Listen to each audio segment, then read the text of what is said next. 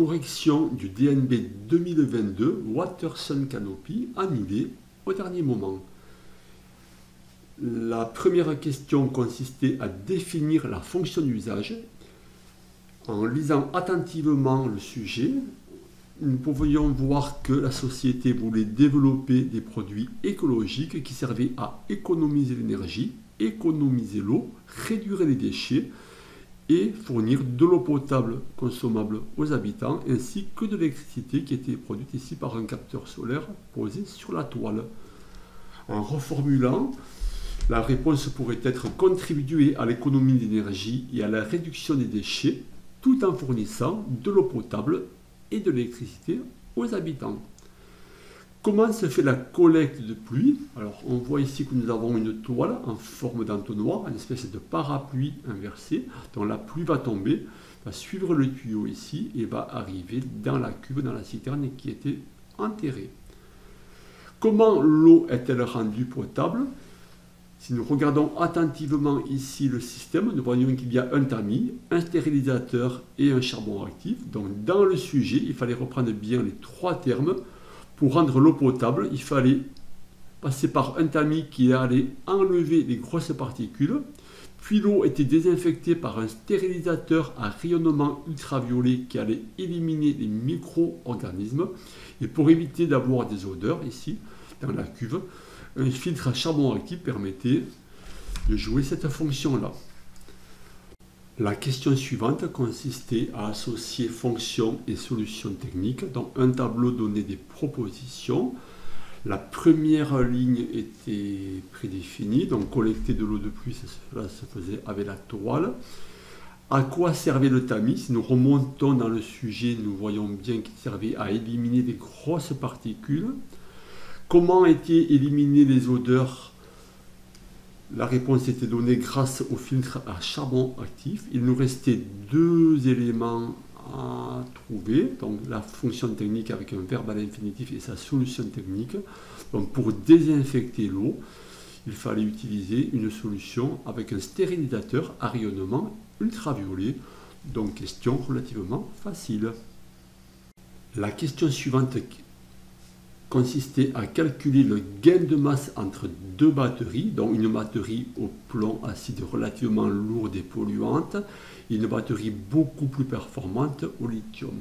Dans le sujet, une donnée était importante, la batterie devait délivrer une puissance totale de 40 kW, soit 40 fois 1000 égale 40 000 watts. Dans les deux cas, il fallait bien obtenir une puissance ici pour la batterie de 40 000 watts.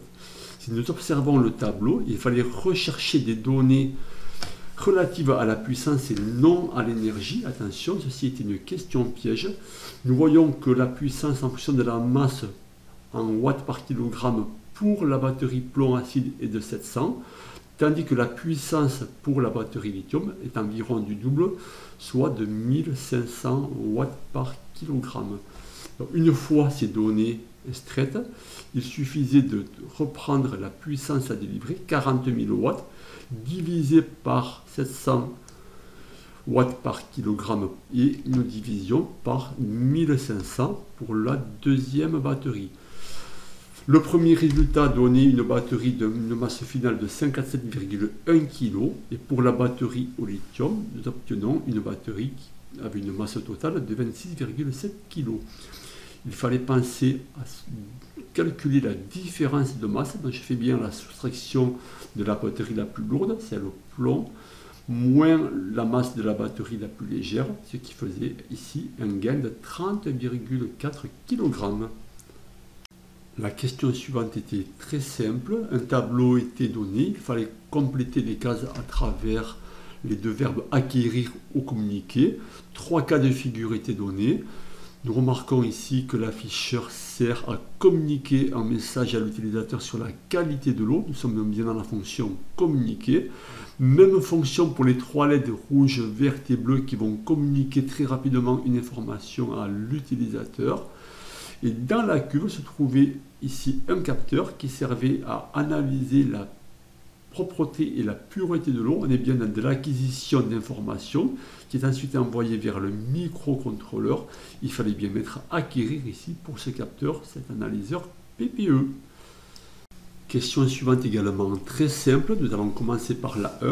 Nous voyons que le microcontrôleur va ici va envoyer de l'information sur les LED. Nous sommes bien dans de l'information pour avertir l'utilisateur sur la qualité de l'eau. Même chose pour l'afficheur, nous sommes bien dans de l'information qui part du microcontrôleur. Pour le numéro 3 ici, il y avait une batterie. Donc une batterie sert à alimenter en énergie électrique le microcontrôleur. On est bien dans un flux d'énergie. Et pour la dernière, ici pour la 4, il fallait informer sur la qualité de l'eau. Le capteur venait informer l'utilisateur en passant par le microcontrôleur. On est bien ici sur de l'information. Donc question très facile. Dernière euh, question avec une programmation de type Scratch. Un tableau était donné avec l'intégralité des réponses, ainsi ici qu'un schéma avec des branchements sur les broches. Donc il y avait bien trois parties ici. Il y avait une première condition, une deuxième condition et une troisième condition.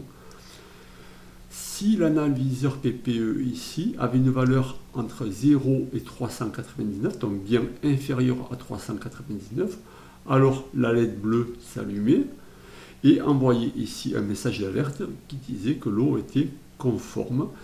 Et en analysant attentivement le sujet, on voyait que la LED bleue était ici reliée sur la broche D2. Il suffisait de reprendre ici toutes les données.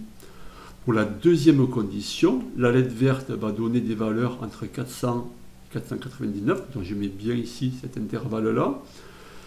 Le message transmis était contrôler le tamis, donc problème sur la qualité de l'eau.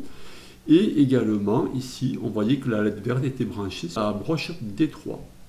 Pour la dernière question, ici, la LED rouge avait une valeur qui était supérieure à 500. Le message transmis était message non conforme et cette LED était reliée sur la broche D4.